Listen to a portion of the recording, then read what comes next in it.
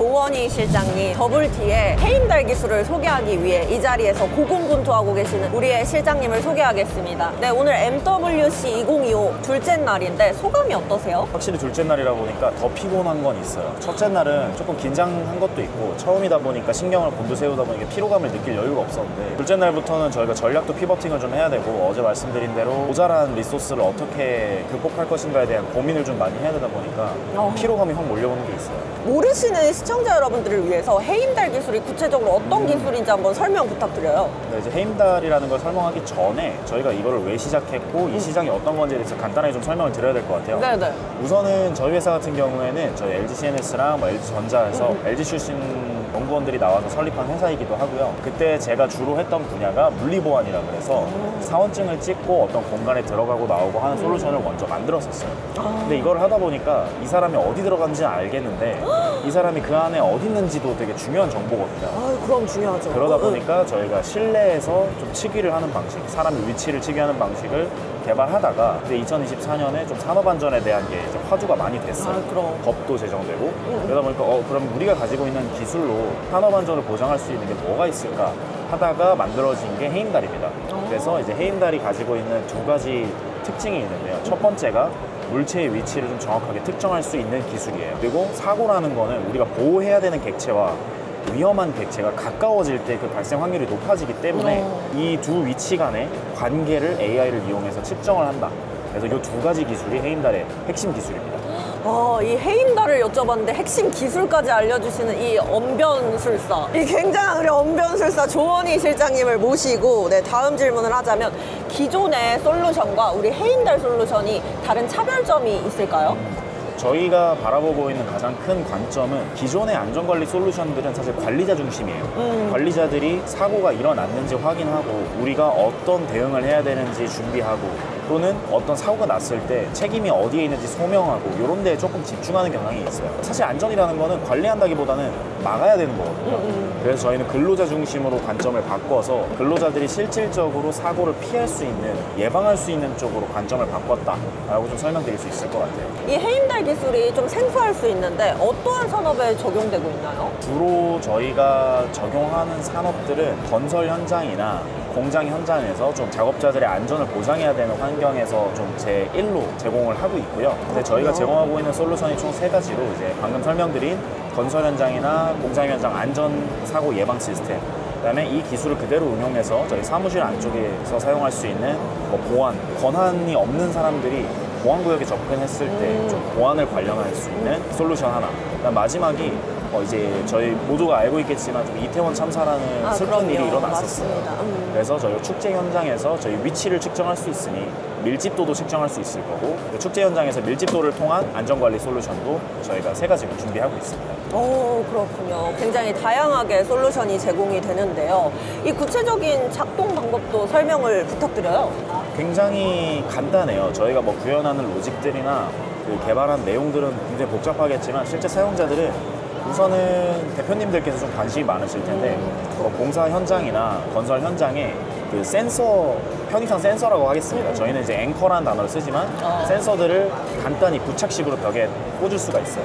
그럼 부착식으로 꽂은 그 센서들이랑 근로자들이 자신의 핸드폰 또는 조금 더 정확한 위치 추적을 원하시는 분들은 저희 화면에 나오겠지만 이렇게 시계형 device나 아니면 밴드형 device를 가지고 그냥 착용하고 돌아다니실 수 있어요. 그러면 그분들께서는 뭔가 위험이 다가올 때 자, 알람을 진동이나 소리로 받을 수 있고 그 받은 정보를 가지고 딱 화면을 봤을 때 어떤 위험 요소가 어느 방향에서 얼마나 멀리 떨어져 있는지까지 확인할 수 있습니다. 오, 그러면은 현재로서 MWC 2025 전시회에서 우리 해임달 기술이랑 좀 연계되면 좋겠다는 기술들도 있을까요? 연계되면 좋겠는 기술들이 굉장히 많은데 최근에 제가 이제 출근하면서 오늘 쭉 봤던 업체 중에 그 5G 모듈 통신을 하는 곳이 있었어요. 아, 5G 모듈 저희가 이제 통신이 정말 어려운 곳에서는 스탠드얼론이라고 해서 그 공장 내부망으로만 구성을 해야 될 때가 있는데 클라우드에서 정보를 받고 뭐 예를 들어서 뭐 청주 공장에 있는 일을 서울에서 알 수 있도록 하기 위해서 필요한 것들이 그 통신 장비들이거든요. 어. 그래서 그런 회사들이랑 좀 협업을 하면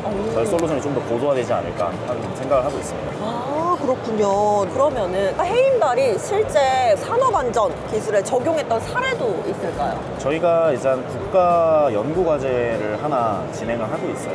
그 국가 연구 과제를 통해서 좀 개발 사업을 하면서 좀 중소기업 향으로 저희가 적용을 해보고 있고 실제 적용한 사례로 이제 세종시의 H&T라는 기업에 저희가 적용을 해가지고 외국인 근로자들이에요. 그래서 외국인 근로자들이 아무래도 안전교육을 해도 알아듣기가 어려우니까 그분들한테 좀 더 직관적으로 알림을 줄 수 있는 시스템을 구현하고 유지보수하고 있습니다. 그러면 혹시 해인달 기술을 적용하는 내내 좀 불편한 점이나 개선해야 될 점은 찾지 못하셨나요? 사실 저희가 설치를 할 때 결국 장비가 굉장히 중요해요. 왜냐하면 저희가 소프트웨어나 웹 기술에 대해서는 굉장히 잘하는 업체인데 장비 하드웨어 쪽은 이제 경량화하고 최적화하고 또 설치하기 편하게 하는 데는 정말 그 전문 지식이 필요하거든요. 그럼요. 그래서 좀 하드웨어를 조금 더 개선하고 싶다는 욕심이 있습니다. 그러면 뭔가 그런 욕심을 가지고 현재 해결해야 되겠다라는 숙제가 있다면 지금 해결해야 되는 숙제는 아무래도 그 설치형 앵커를 조금 더 경량화하고 싶어요. 왜냐면 환경에 따라서 저희가 설치하지 못하는 경우도 분명히 있을 거예요. 그리고 특히 이제 저희가 사용하고 있는 BLE나 UWB 같은 경우에는 금속이 많은 경우에 방해를 받는 경우도 꽤 있어요.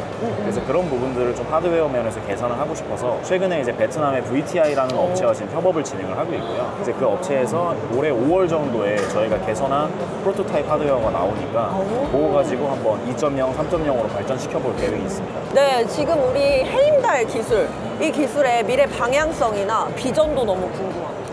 앞으로 지금은 사고가 발생을 할 것 같다. 아니면 이 사람 발생한 사람에 대해서 앰뷸런스를 좀 호출을 하자. 뭐 어떤 동선에 사고가 많이 한다라는 어떻게 보면 사고 예방 쪽에 좀 많이 치중되어 있는데 이후에는 사고의 사후 관리에도 조금 저희가 기술을 더 쓸 수 있지 않을까 싶어요. 예를 들어서 사고가 났을 때 이 사고의 종류를 판별할 수 있다면 골절상이나 또는 절단이라면 어 이거는 외과가 필요하고 마취과가 필요하고 앰뷸런스가 필요하고 경찰 통제가 필요하다라고 하면 각각의 시스템으로 다 연락을 할 수 있는 그런 사후 처리까지 갈 수 있지 않을까 합니다. 버블티 해인달만이 갖는 글로벌 시장 진출 계획이 있다면 한번 말씀해 주시겠어요?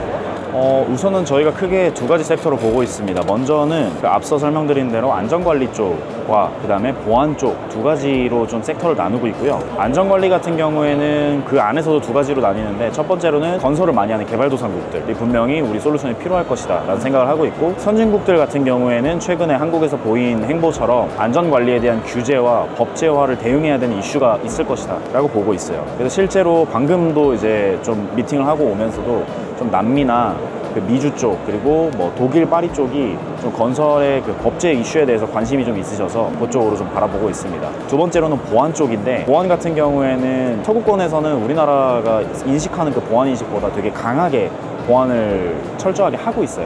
그래서 그쪽에 분명히 이런 위치 기반으로 보안 제한을 하면 이- 좀 괜찮지 않을까 하는 어. 것도 있고 두 번째가 이제 일본 쪽을 좀 보고 있어요. 일본은 아직도 전산화를 하지 않고 어, 손으로 서류를 쓰고 결제 문서를 다 손으로 작성하는 만큼 좀 이런 전산화와 보안을 같이 접근을 시켰을 때 좀 impact가 있지 않을까 어, try를 해보고 있습니다. 네 마지막으로 우리 MWC 2025 전시회를 통해 갖고자 하는 목표가 있다면 말씀해 주시겠어요? 사실 아주 적나라하게 저의 목표는 바이어를 구하고 투자사를 구해가는 것이겠죠. 근데 이제 그거 말고도 좀 다른 의미를 찾아간다고 하면은 위치 기반 서비스가 사실 시장에서는 굉장히 정확도가 낮고 저거는 쓸 수 없고 사장된 기술이라는 인식을 많이들 가지고 계세요. 근데 기술이 많이 발전이 되고 있고 하드웨어 쪽에서도 굉장히 열심히 이 레벨업을 해주시면서 저희가 해봤을 때 어, 정말 이건 된다 라는 인식을 가지고 있는데 그런 인식들을 좀 이번 전시회를 통해서 깨보고 싶습니다.